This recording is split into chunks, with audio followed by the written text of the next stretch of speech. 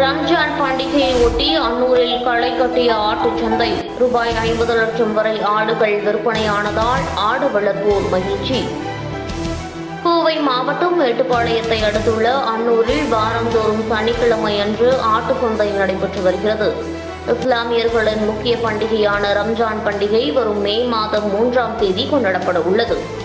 ரம்ஜான் பண்டிகைக்கு இன்னும் சில தினங்களே உள்ள நிலையில் கோவை திருப்பூர் ஈரோடு உள்ளிட்ட மாவட்டங்களிலிருந்து வெள்ளாடு செம்மறியாடு குறும்பையாடுகள் என மூன்றாயிரத்திற்கும் மேற்பட்ட ஆடுகள் இன்று விற்பனைக்கு வந்திருந்தன. ஆடுகளை வாங்குவதற்கு உள்ளூர் வியாபாரிகள் மட்டுமின்றி கேரளா கர்நாடகா உள்ளிட்ட பிற மாநிலங்களிலிருந்தும் தமிழகத்தின் பிற மாவட்டங்களிலிருந்தும் ஏராளமானோர் வந்திருந்தனர். இதனால் ஆடுகளின் விலையும் சற்று அதிக விலைக்கே விற்பனையானது. ஒரு ஆடு ரூபாய் எட்டாயிரம் முதல் பதினைந்தாயிரம் வரை விலை போனது. இதனால் வியாபாரிகள் மட்டுமல்லாது ஆடுகளை வளர்ப்போரும் மகிழ்ச்சி அடைந்துள்ளனர்.